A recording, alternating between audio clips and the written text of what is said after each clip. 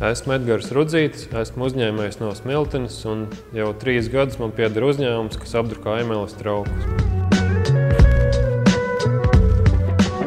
Pirms astoņiem gadiem es atnācu uz Rīgu studēt eh, par inženieru tehniskajā koledžā. To es arī pabeidzu, bet man vienmēr gribējies eh, savu uzņēmumu. Un par cik maniem vecākiem ir apdrukas un bilžu izgatavošanas uzņēmums, es, eh, man bija jau tas pamats, pamatzināšanas un beidzot studijas, es meklēju darbu, kur es varētu strādāt. Es bez intervijas, bez nekā aizgāju uz vienu uzņēmumu, teicu, ka es vēlos darbu, un mani uzreiz arī paņēma. Un tā es sāku pastāvīgu dzīvi Rīgā.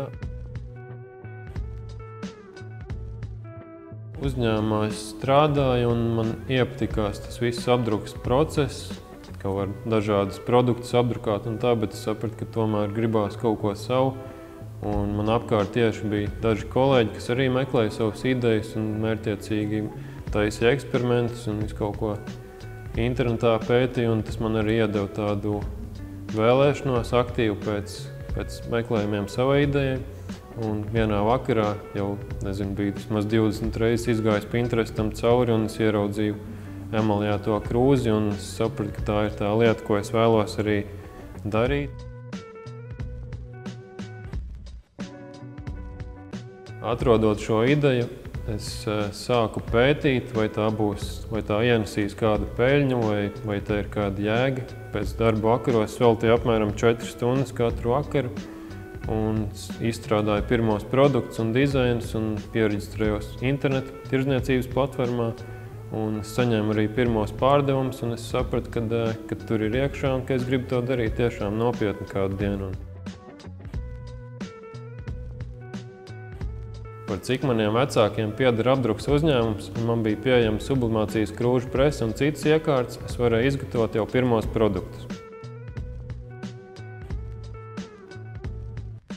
Ārzemēs atradu un pasūtīju pirmās krūzes un varēju sākt savu ražošanu. Biju internetā pārdevis apmēram 30 vai 40 krūzes ar personalizētiem dizainiem un es Pēc apmēram diviem mēnešiem sāku saņemt sliktas atsauksmes par lielāko daļu no šīm pārdotajām krūzēm. Un tās atsauksmes bija par to, ka druka nāk nost, ka viņu nevar likt uz ugunskura.